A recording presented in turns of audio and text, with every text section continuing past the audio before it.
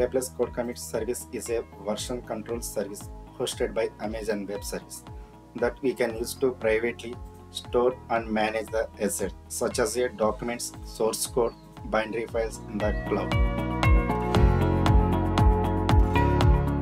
The AWS Code Commit console to review the file in a repository or read a quickly content of the file and also create the branch and check out easily along with clone the repository locally.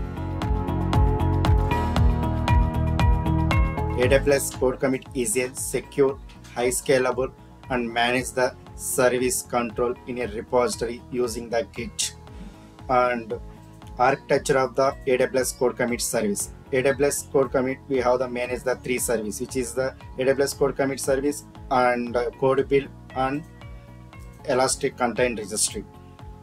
Coming to the AWS Code Commit areas maintain the source code we need to build using the build specification file and after that we push into a Elastic Container Registry areas maintain the Docker images uh, on jar and where. One is the main benefit collaboration. AWS Code Commits designed for the software development areas maintain branches and merge the code into the particular repository and also support the pull request which is a mechanism to read the source code and uh, discuss with the collaborators about the what are the issues.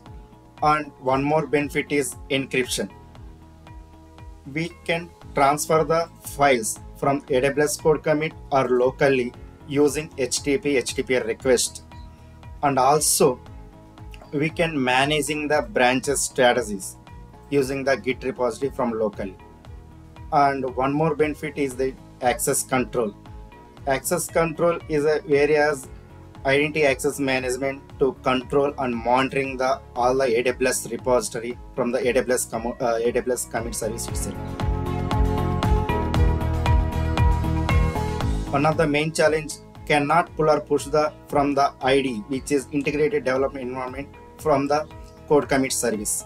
So generally we are getting this error uh, this error due to the compatibility with git. So we need to avoid this. We can clone the repository locally from aws code commit service. And one more benefit is uh, uh, one more uh, challenge is cannot clone the repository from the IDE so generally IDE is not support for all the ways. So we need to uh, uh, clone the repository from aws code commit service